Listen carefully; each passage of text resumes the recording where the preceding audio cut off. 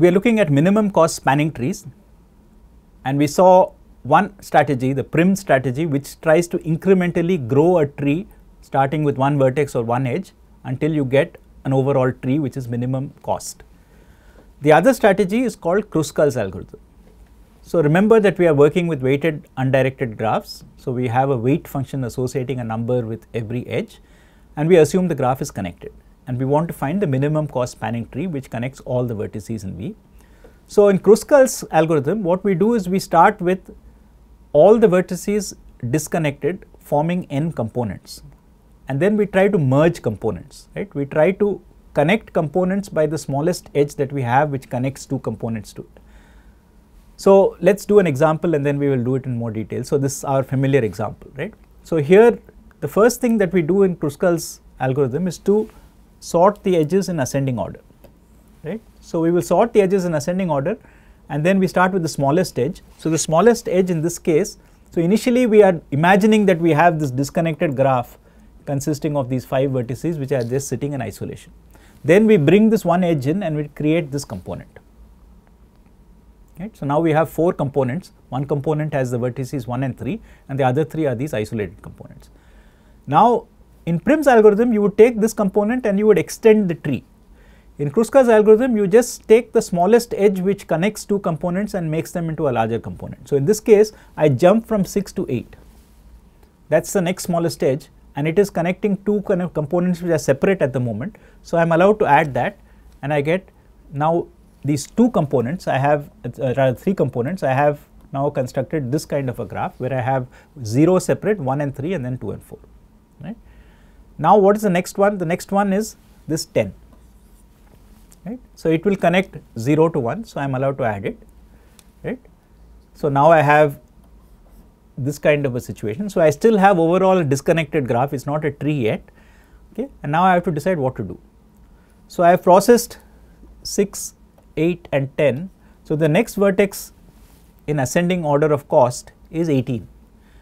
So, what I discover now is that when I try to add 18 it does not connect two different components, it connects two vert vertices in the same component.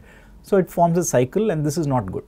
So, Kruskal's algorithm says include an edge if it does not create a cycle. So, 18 gets discarded right. So, we do not take the edge 0 3 and we proceed to the next edge.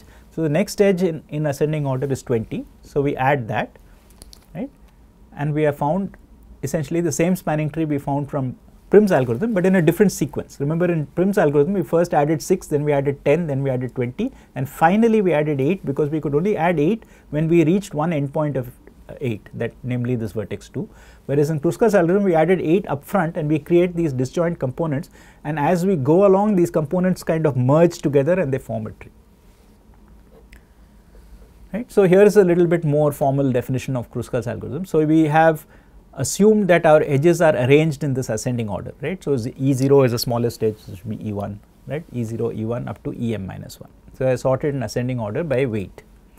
And now what you do is you keep track of like we did in Prim's algorithm, we keep track of the set of edges that we have added, right. And implicitly the set of edges also tells us what are the components. So, you can if you are trying to uh, actually write this as code, you will actually keep track of the components also, which is a little bit tedious when you are programming this, but Mathematically, if we know the edges, then we can compute the components by just doing kind of uh, the reachability on each component and finding out which the components are.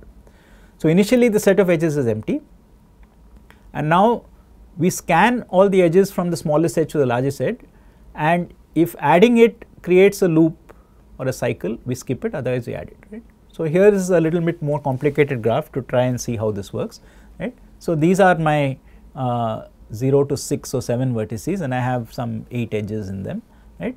So, I sort the edges, right. So, this is my smallest edge, right, and this is my second smallest edge and so on and this is my third. So, now I have 3 edges which are of equal size, right. So, these 3 edges. So, I fix some ordering. We discussed that if you have equal uh, weight edges, you just fix some ordering on them. So, I have fixed an ordering which is basically based on the lexicographic ordering of the endpoints. So, 0 1 comes before 4 5 because 0 comes before 4 and 4 5 comes before 4 6 because 5 comes before 6. So, I have just chosen this order. you can choose any order right. So, you fix an order in which you are going to process the vertices such that it is an ascending order if the equal vertices you choose some uh, some way to group them so that they are in some fixed order. So, initially now my edge set is empty right and I pick the smallest one. So, now I process it from smallest to largest. So, I pick the smallest one no problem it does not create any uh, I have got I have got no components before this. So, I now have created one component right. So, I can add it and I have 5 6 as a tree edge. Now, I look at the next edge. So, remember this is useful that I have already sorted it. So, I know that the next edge I have to process is 1 2. So, I look at 1 2 again no problem it connects two different components so I am fine. Okay. Then I look at 0 1 0 1 also connects two different components so I am fine right. So, now I have come to the 10 block. Okay. So, now I look at 4 5 4 5 also connects two different things because 5 6 was one component and 4 was one component am fine. Now, I come to 4 6 and 4 6 now is actually lying within a component. So, I cannot use 4 6 so I skip it. So, I do not add it to the edge set. So, I leave the edge, edge set unchanged. Now, I come to 0 2 same problem 0 2 is connecting two vertices which are already in the same component. So, I have to skip that also. So, now after 18 I go to 20 right and that is not a problem because it takes this component and this component and connects them they are two different components. So, I add that and finally, that edge 70 which connects 2 to 3 is added. Right. So, this is how Kruskal's algorithm works. So, the reason that Kruskal's algorithm is correct is exactly the same reason that Prim's algorithm is correct. It's because of this minimum separator lemma. Remember what the minimum separator lemma says? If I take my graph and I split it so that there are some vertices on this side and some on the other side, right? There are these partition into u and w. No matter how I partition it, if I then sit and look at all the edges which cross, right? And then among these, if I pick the smallest one, then that smallest one must belong to every MCST. Right? So, in our thing the edges that we have found so far in Kruskal's algorithm partition the vertices into connected components. So, now initially each vertex is in a separate component and when I add an edge uw it merges the components of u and w. Right? So, basically the thing is that if I am keeping track of which uh, which vertices are in the same component and I can do that incrementally, right. When I add an edge, I can grow the component. I can say the component containing u now contains w also. So, it is not a problem, right. So, I do this as I go along. So, if I discover that the edge I want to add actually falls within the component, both endpoints are the same component, it will then form a cycle and then I discard it. On the other hand, if it connects two different components, then we can apply this lemma to argue that what we are doing is correct because we look at the component containing the starting point. So, let capital U be the component containing small u, right, and let W be the rest. Now, W has because we are assuming that U and W are in U small u and small w are different components. I have U which contains the small u and this W which is the rest which contains small w. Now, we are processing these edges in ascending order, right. So, since these are in different components, I have not yet connected these two. So, I have not found any edges yet between 0 between capital U and capital W because if I had found them I would have already connected these components right. So, the reason they are not connected is because I have not found them yet. But among the edges which I have not looked at the edge I am looking at right now is the smallest one because I am doing it in ascending order right. So, so this forms a partition and we are forming this, uh, we are scanning in ascending order. So, this edge that I am looking at must be the smallest edge connecting capital U to capital W. So, it satisfies this property of this minimum separator, right. It is a minimum separator of capital U and capital W. So, what Kruskal's algorithm would do would say pick it up and add it. And it is correct because the separator says that any such edge which is the minimum separator between this partition and that partition must be there in every MCST. Okay. So, Kruskal's algorithm is correct for the same reason that Prim's algorithm is correct because of this minimum separator lemma. So, the difference between Prim's algorithm and Kruskal's algorithm is basically Kruskal's algorithm kind of assembles this tree bottom up, right. So, it takes all these disconnected things and then it goes around putting them together. Whereas a Prim's algorithm starts somewhere and it grows the tree gradually to cover the whole thing, right. So, they have different strategies, right, but both of them owe their correctness to that one lemma which says that whenever I partition the vertices into two disjoint sets, the smallest edge connecting these two partitions must be there in every MCST. Now, if there are repeated edge weights, then we already saw in the unweighted case that there are many spanning trees.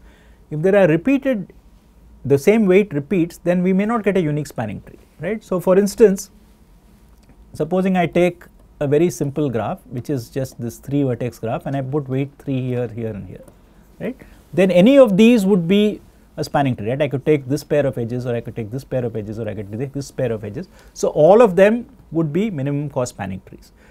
And where it comes in our algorithm is when we say choose the minimum cost edge, remember that we have said that we might actually have to specify it as some f comma j and so on. So, the ordering that we choose will decide which one will get picked up. So, that is why we get many different choices right. So, here you can see that this uh, triangle on 4 vertices and 3 vertices has actually 3 spanning trees. If I do a more complicated thing for instance supposing I take a square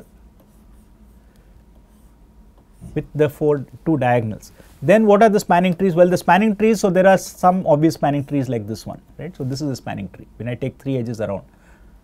Four vertices, so a spanning tree will have three edges. But these are also spanning trees, two edges and a diagonal, right? This Z is also a spanning tree, two edges and the diagonal connecting them. How many of them are there? Well, there are four ways of going around the outside. I can have this, I can have this, I can have this. Then there are some four ways of choosing the corner to include and then the z can also be in many different ways right so many different orientations so you can see that with six edges i can get uh, an enormous number of spanning trees so in general right different choices lead to different spanning trees and if there are uh, not unique edge weights then I could get a very large number of spanning trees. So, depending on how I have chosen to order these equal edge weights, Prim's algorithm and Kruskal's algorithm will pick one particular one out of these right. It will not give you all of them, it will give you one of them. In, and if they are disjoint in the sense that uh, not disjoint, if they are distinct, that is if all the edge weights are different, then using the minimum separator lemma, you can argue that every choice on Prim's algorithm is forced, every choice in Kruskal's algorithm is forced, and they will give you exactly the same spanning tree. So, as long as the edge weights are disjoint, it does not matter whether you use Prim or Kruskal, you will get the same spanning tree. But if the edge weights repeat, then depending on how you choose to order the vertices, the two algorithms might produce different spanning trees with the same minimum cost but different sets of edges. So, keep that in mind.